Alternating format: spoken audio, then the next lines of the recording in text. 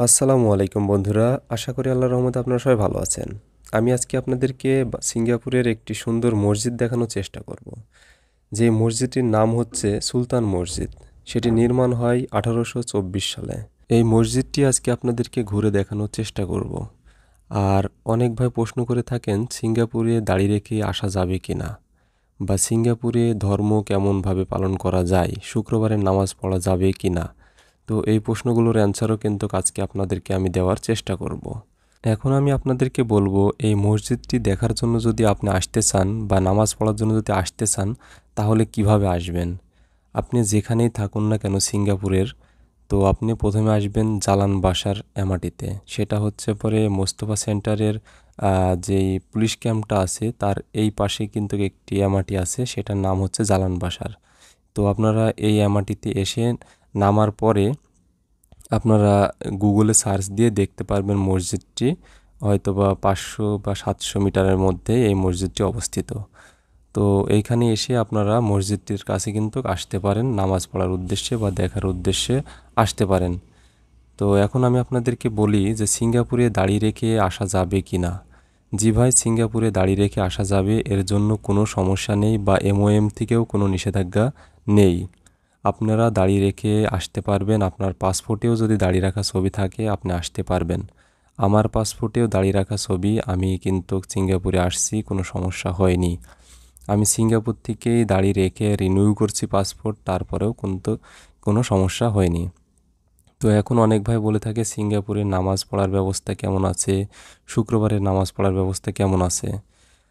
তো বলব যে, সিঙ্গাপুরে আসলে ধর্মের কোনো দেশ না। এই দেশে ধর্মের কোনো ব্যবস্থা নেই, সে যে ধর্মেরই হোক না কেন। আপনারা হয়তো জেনে থাকবেন, সিঙ্গাপুরে কিন্তু রবিবারে ছুটি থাকে। তো বছরে একবার বা দুইবার হয়তো বা শুক্রবারের নামাজ পড়া যেতে পারে, তাও যদি আপনার কপালে থাকে। তো সিঙ্গাপুরে আসলে ধর্ম পালন করা খুবই টাফ এবং কাজের সাইডে আসলে নামাজ পড়াটাও খুব একটা যায় না। তবে সুযোগ সুবিধা বুঝে আপনি কষ্ট করে নামাজটা পড়ে নেবেন। আপনার সাথে যেই ভাই বা যেই লোক কাজ করবে তাকে একটু বলে যে, ভাই, আমি একটু নামাজ পড়তে যাব। নামাজ পড়ে তারপরে এসে কাজ করছি। এইভাবে আপনি কিন্তু জাস্ট চার রাকাত ফরজ বা দুই রাকাত, তিন রাকাত নামাজটুকু কিন্তু পড়তে পারেন।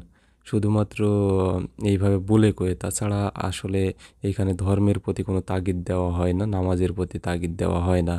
আর রোজার বিষয়ে যেটা বলব, রোজা যদি আপনি করতে পারেন, কাজের পরিশ্রমের মাধ্যমে কাজ করার পরেও যদি রোজা মনে করেন যে না করতে পারব, তাহলে আপনি করতে পারেন, এখানে কোনো বাধা নিষেধ নেই। আর যদি না করতে পারেন, সেটা আপনার বিষয়, এটা কোম্পানি আসলে আপনাকে কোনো স্যাক্রিফাইসড বা কোনো ছাড় দেবে না।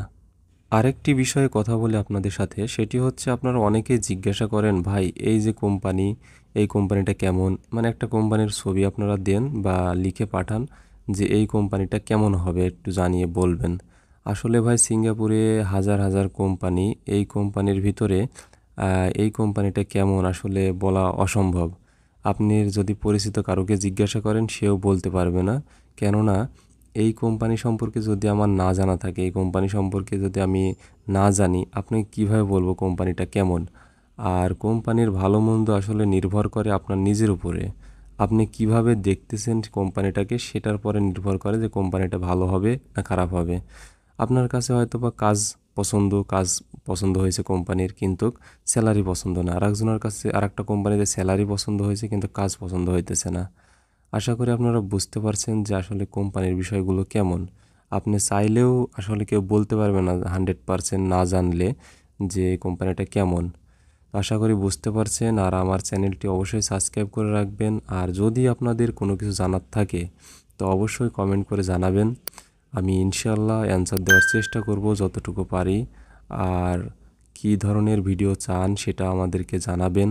আর আমি সম্প্রতি আর একটা চ্যাপ্টার চালু করার চেষ্টা করব সিঙ্গাপুরের মসজিদ সম্পর্কে। আমি বিভিন্ন মসজিদগুলো ঘুরে ঘুরে দেখে আপনাদেরকে ভিডিও করে দেখানোর চেষ্টা করব ইনশাল্লাহ তো সবাই ভালো থাকবেন আর আমার চ্যানেলটি অবশ্যই সাবস্ক্রাইব করে রাখবেন। দেখতে থাকুন।